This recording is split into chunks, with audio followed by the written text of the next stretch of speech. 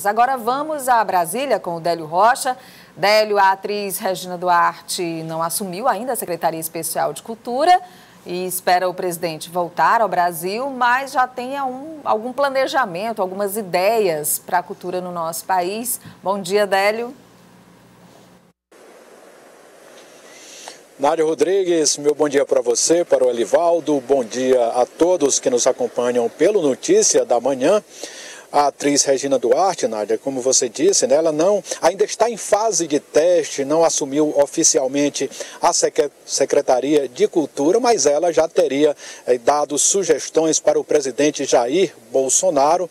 Uma dessas sugestões eh, foi dada eh, no primeiro encontro que ela teve logo após aí a saída de Roberto Alvim da Secretaria de Cultura. Regina Duarte disse para o presidente Jair Bolsonaro que pretendia, caso assumisse a Secretaria de Cultura, criar eventos para a família, abre aspas aí, eventos para a família, para se contrapor aos bailes funk.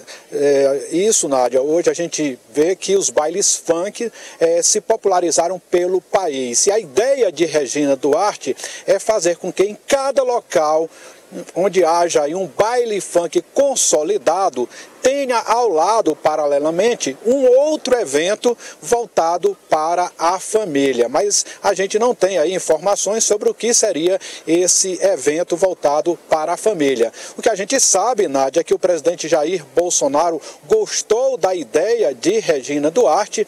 Aliás, Nádia, o que a gente ouviu aí na, na imprensa nacional, em veículos eh, de comunicação, é que o presidente Jair Bolsonaro só teria feito uma recomendação para para a atriz Regina Duarte, que não liberasse qualquer recursos para propostas que fossem alinhadas, né, que são consideradas propostas da esquerda. Principalmente, Nádia, é, propostas que sejam voltadas para a diversidade sexual ou para o movimento LGBT. Nádia. Délio, o presidente Bolsonaro na Índia não quis entrar em polêmico em choque com o presidente norte-americano Donald Trump depois da deportação de brasileiros dos Estados Unidos para o Brasil, especialmente do estado de Minas Gerais, e disse que a lei americana precisa ser respeitada. Alguns voltaram, inclusive, algemados, né, Délio?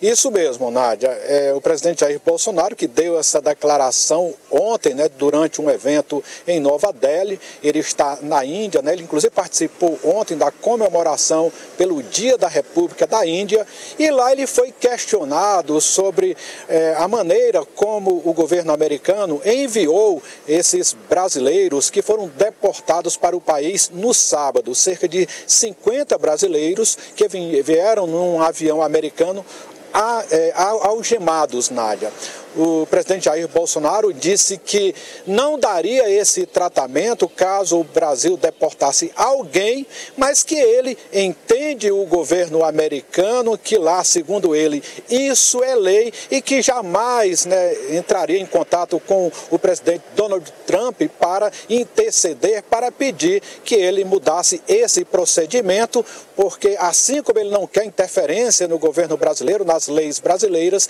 ele também não faria isso isso com o seu colega americano. E ele, Nádia, o presidente Jair Bolsonaro, lembrando que volta hoje ao Brasil e ele já deve reassumir a presidência aí no final do dia.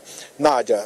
Obrigada, Délio Rocha, ao vivo lá de Brasília. Daqui a pouco no Jornal do Piauí outras informações. Até lá, Délio. Elivaldo, a última de hoje. Nádia, o vereador Evandro Ide, presidente do PDT de Teresina, conquistou ou teve a situação reafirmada de autonomia plena na condução do partido em Teresina. A decisão foi tomada durante o encontro da direção estadual provisória na semana passada. Evandro Ide trabalha aí na formação da chapa de candidatos a vereador e o PDT, sob o comando de Evandro Ide em Teresina, naturalmente que será aliado do prefeito Firmino Filho, ou do bloco liderado pelo prefeito Firmino Filho, independente de qual candidato será o escolhido para a eleição majoritária na capital.